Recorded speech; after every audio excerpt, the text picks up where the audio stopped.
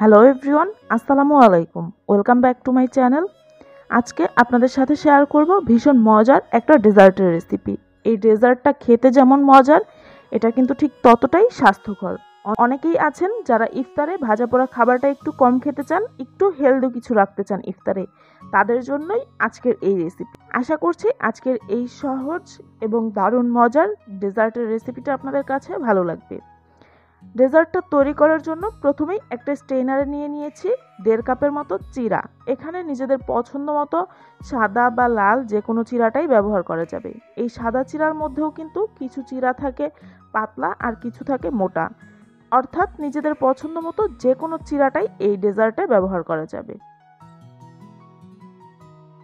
আর চিরাগুলোকে কিন্তু অবশ্যই একটা স্টেইনার বা যে কোনো একটা জালির মধ্যে নিয়ে এটাকে চেলে নিতে হবে, কারণ অনেক সময় চিরার মধ্যে দেখা যায় বালু বা এক্সট্রা অনেক কিছুই থাকে, তাই এটাকে একটু চেলে নিতে হবে। আর এরকম যদি ধান দেখা যায়, অনেক চিরার মধ্যেই দেখা যায় যে এরকম ধান থাকে, সেই ধানগুলোকে কিন্তু বেছে ফেলে দিতে হবে। এজন্য কিন্তু অবশ্যই চিরাটা চেলে নিতে হবে। এরপরে দুই থেকে তিনবার পানি পরিবর্তন করে চিরাটাকে একটু ভালো মতো ধুয়ে নিয়েছি। আর ধোয়ার সময় কিন্তু অতিরিক্ত কচলে চিরাটাকে ধোয়া যাবে না, আলতো হাতে চিরাটাকে পানি পরিবর্তন করে দুই থেকে তিনবার ধুয়ে নিতে হবে। এরপরে এর মধ্যে দিয়ে দিচ্ছি রুমের স্বাভাবিক তাপমাত্রার দুধ। দুধের পরিবর্তে চাইলে পানিও ব্যবহার করতে পারেন, তবে টেস্টটা বেশি ভালো হবে যদি দুধটা ব্যবহার করেন।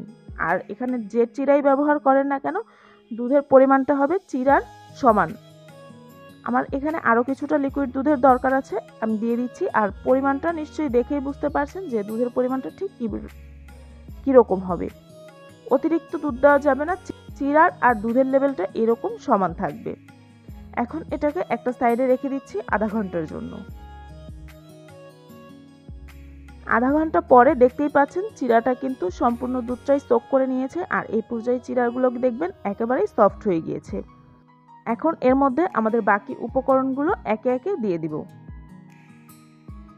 প্রথমেই এর মধ্যে দিয়ে দিচ্ছি মাঝারি সাইজের দুইটা কলা এরকম ছোট টুকরো করে কেটে নেওয়া। এরপরে দিয়ে দিচ্ছি দুই টেবিল চামচ পরিমাণ বাদাম কুচি। নিজেদের পছন্দ মতো যে কোনো বাদাম কুচি কিন্তু এখানে ব্যবহার করা যাবে। দিয়ে দিচ্ছি ওয়ান ফোর্থ কাপ পরিমাণ খেজুর এরকম কুচি করে কেটে নেওয়া। হাফ কাপ দিয়ে দিচ্ছি বুন্দিয়া। তবে হাতের কাছে যদি বুন্দিয়াটা না থাকে, সেক্ষেত্রে না দিলেও চলবে, সেক্ষেত্রে কিন্তু চিনি ব্যবহার করতে হবে। আমি এই ডেজার্টে কোনো রকমের চিনি ব্যবহার করিনি, যেহেতু ফল, খেজুর আর বুন্দিয়াতে মিষ্টি আছে। দুই কাপ লিকুইড দুধের সাথে আরও হাফ কাপ পাউডার মিল্ক গুলিয়ে সেটাকে চুলায় একটা বলক তুলে নিয়েছি। এরপরে এটাকে রুম টেম্পারেচারে ঠান্ডা করে এই ডেজার্টে ব্যবহার করছি। এই দুধটা জাল দেওয়ার সময় চাইলে হাতের কাছে যদি থাকে সামান্য একটু ভ্যানিলা এসেন্স বা নিজেদের পছন্দ মতো যে কোনো ফ্লেভারই কিন্তু অ্যাড করতে পারবেন। আর যদি না থাকে, সেক্ষেত্রে কিন্তু না দিলেও চলবে। এখন সব কিছু মিশিয়ে নিচ্ছি। আমি এখানে শুধু কলাটাই ব্যবহার করেছি। আপনারা কিন্তু নিজেদের পছন্দ মতো আরও কয়েক রকমের ফল এখানে ব্যবহার করতে পারবেন। তবে পানি ছেড়ে দেয় এরকম ফল যেমন তরমুজ এগুলো ব্যবহার না করাই ভালো। ভালো করে মিশিয়ে নেওয়ার পরে এখন এটা পরিবেশনের পালা। যদি ডেজার্টটা তৈরি করে অনেকটা সময় ধরে ফ্রিজে ঠান্ডা হতে রেখে দেন, সেক্ষেত্রে কলাটা আগে না ব্যবহার করাই ভালো। অনেক সময় দেখা যায় কালো হয়ে যেতে পারে। তখন ডেজার্টটা যখন পরিবেশন করবেন, ওই পর্যায়ে কলাটা কেটে ব্যবহার করতে হবে। আশা করছি আজকের এই সহজ এবং অসম্ভব মজার এই ডেজার্টের রেসিপিটা আপনাদের কাছে ভালো লেগেছে। যদি ভালো লেগে থাকে, ভিডিওটিতে একটি লাইক দিয়ে ফ্রেন্ডস অ্যান্ড ফ্যামিলির সাথে আমার আজকের রেসিপিটা শেয়ার করবেন। বাসায় যদি তৈরি করে থাকেন, অবশ্যই আমাকে কমেন্ট করে জানাবেন যে আপনাদের কাছে কেমন লেগেছে। আমার চ্যানেলটা যদি এখনও সাবস্ক্রাইব করে না থাকেন, তাহলে প্লিজ আমার চ্যানেলটা সাবস্ক্রাইব করবেন। সবাই খুব বেশি ভালো থাকবেন। আল্লাহ হাফেজ।